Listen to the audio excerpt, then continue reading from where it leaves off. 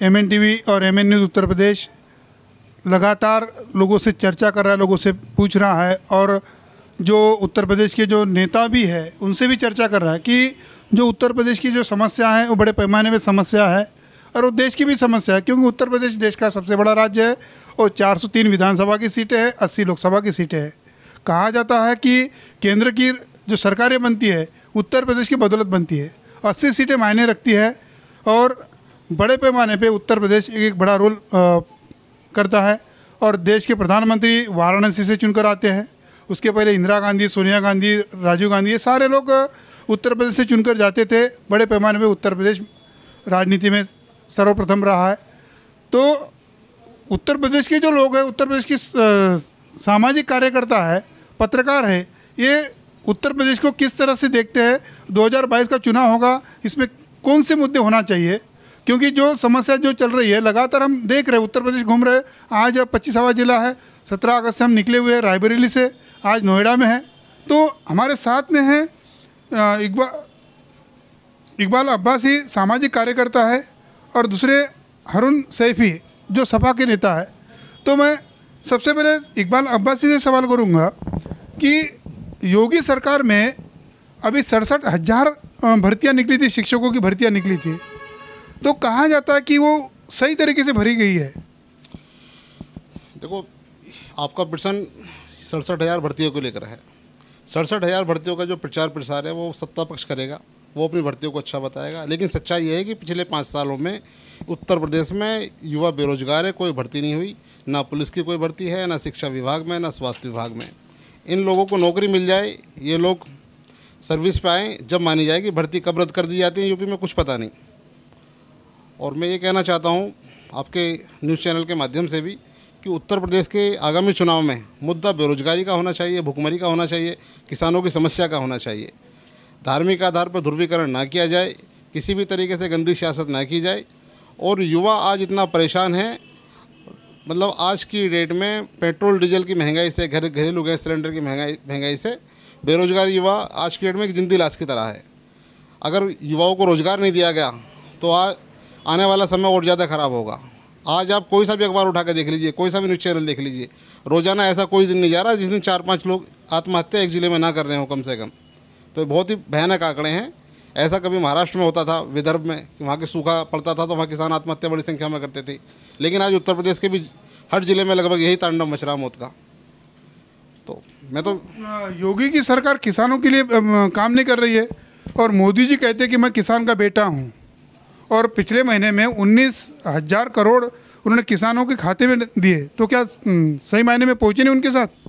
किसान अपने खाते में पैसे नहीं चाह रहा किसान एमएसपी पर गारंटी चाह रहा जो फ़सल की लागत है। मोदी जी ने तो संसद में कहा कि एमएसपी थी एमएसपी है और एमएसपी रहेगी। तो आप सवाल क्यों करते हैं उन पर मोदी जी पर? बस किसानों का यही कि तो ये ये की तो यही तो शर्त है कि एमएसपी पर आप लिखित में गारंटी दे दो। मौखित की गारंटी नहीं मान रहा किसान। किसान का बेटा पढ़ा लिखा है किसान भी पढ़ा लिखा है। किसान किसी भी तरीके की जुमलेबाजी में नहीं आएगा राजनीतिक आश्वासन में नहीं आएगा। किसान चाहता है कि हमें हमारे साथ धोखा ना हो। अब से पहले बहुत बार धोखा हो चुका है। जैसे पंजाब हरियाणा चंडीगढ़ के किसानों को एमएसपी मिलती है तो यहाँ पर भी मिलेगी अन्य राज्यों में? बिहार में इन लोगों ने मंडी समितियों का अधिग्रहण किया। वहाँ मंडियों का क्या हाल है वो सबको पता। जो लाला सूदखोर होते हैं स्टॉक करने वाले होते हैं काला बाजारी करने वाले होते हैं वो पाँच पाँच सौ बोरी अगर स्टॉक करते थे तब वो महँगाई ला आते थे। आज दो दो लाख टन गेहूँ, दो दो लाख टन चावल के स्टॉक बनाए जा रहे हैं गुजरात के उद्योगपति के द्वारा। वो कानून लाने से पहले ही काम चालू हो गया था। तो किसानों को और देशवासियों को, सरकार की और उद्योगपतियों की नीयत में खोट दिख रही है, इसलिए लोग धरना प्रदर्शन कर रहे हैं। और मैं बता देना चाहता हूँ आपके चैनल के माध्यम से, इन लोगों को जो दो चार उद्योगपति हैं, ये कृषि क्षेत्र के असंगठित व्यापार पर कब्जा करना चाहते हैं। आने वाले टाइम में महँगाई पचास रुपये किलो आटा होगा और चावल होगा सौ रुपये किलो जो बिल्कुल मिनिमम जो बीस रुपये किलो आज बाईस रुपये किलो मिलता है। तो बड़ी हालत ख़राब हो जाएगी। किसी भी तरीके से ये काले कानून रद्द करने चाहिए किसानों की मांग मानी जानी चाहिए किसानों की मांगों के साथ हैं हम। नहीं मोदी जी यहाँ जो कृषि मंत्री तोमर जी कहते हैं कि जो कॉन्टैक्ट खेती होगी तो ज़्यादा से ज़्यादा किसानों को जो धान पर पैसा मिलेगा जो छः हज़ार के जगह आठ हज़ार रुपये धान पर मिलेगा किंटल से तो क्या गलत है? ये सपने दिखाना बंद करे सरकार। पिछले दो बार से लगातार केंद्र में मोदी जी हैं और उत्तर प्रदेश में योगी जी हैं सपनों से काम नहीं चलेगा कि हम आठ हज़ार देंगे। पिछली बार क्या भाव रहा? सत्ताईस सौ रहा। उससे पहले क्या रेट रहता था? सैंतीस सौ रहता था चार हज़ार रहता था यूपी के अंदर धान का रेट तो इन लोगों की नीयत कहने में और करने में बड़ा ज़मीन आसमान का फ़र्क है। मैं सरकार का विरोध करने के साथ साथ ये भी कहना चाहता हूँ मैं किसानों के समर्थन में हूँ। किसानों की मांगे सारी जायज़ हैं। किसानों के साथ पूरा देश खड़ा है। आ, हारून सैफी साहब से मैं एक सवाल करूँगा कि उत्तर प्रदेश में आ, या केंद्र की सरकार कहती है कि बेटी पढ़ाओ बेटी बढ़ाओ और देखा जाता है कि उत्तर प्रदेश में लगातार महिलाओं पे बच्चियों पे बलात्कार होता है उनकी हत्या होती है उन्हें अनशन में रात बेरात जला दे दिया जाता है। तो ये जो कहते हैं अलग और बोलते अलग तो क्या सही है दोनों? नहीं मैं तो एक चीज़ जानता हूँ जी दो हज़ार चौदह के बाद इस सरकार ने इतनी नफरत फैला दी देश में कि हिंदू मुस्लिम ऐसे बता दी कि एक बच्चा जो पैदा हो रहा है ना उसे बता दी कि तो हिंदू घर में पैदा हो रहा तो मुसलमान के घर में पैदा हो रहा मेरा मेरा सवाल मैं आ रहा हूँ उसी मुद्दे आपके मुद्दे पर आ रहा हूँ। जो बेटी बचाओ और बेटी पढ़ाओ का जो नारा इन लोगों ने दिया है बेटी पढ़ाओ तो अच्छा है पर बेटी बचाओ किससे बचाओ? इन लोगों से तो बचाओ। यही लोग तो कर रहे हैं इन्हीं की सरकार में ये काम हो रहे हैं और इनके लोग कर रहे हैं। राजनीतिक लोग तो इन्हीं के कर रहे हैं और कोई बाहर से थोड़ी आ रहा है। तो बेटी तो इनसे पूछ रहे किससे बचानी है? ये अपने कानून को सख्त करें, अब सरकार में अपने प्रस्ताव पास करें, लोगों को, इन, ऐसे लोगों को तो तुरंत फांसी होनी चाहिए, जो फांसी लगा रहे हैं, फांसी लगाने वाले, फांसी लगाने के लिए भी इनके इनके सारे आदमी बैठे हैं, कोर्ट में सब इनका आदमी सरकार जो चलाने वाले सब इनका आदमी तो बाहर से थोड़ी आ रहा है कोई आदमी? उत्तर प्रदेश में देखा गया है कि जो सही मायने में पत्रकारिता करते हैं, वो पत्रकार भी सुरक्षित नहीं है। तो पत्रकारों के लिए कुछ कानून होना चाहिए? देखो पत्रकारों के लिए कानून होना चाहिए, मगर ऐसे पत्रकारों के लिए नहीं होने चाहिए जो इनके तलुए चाटते हों।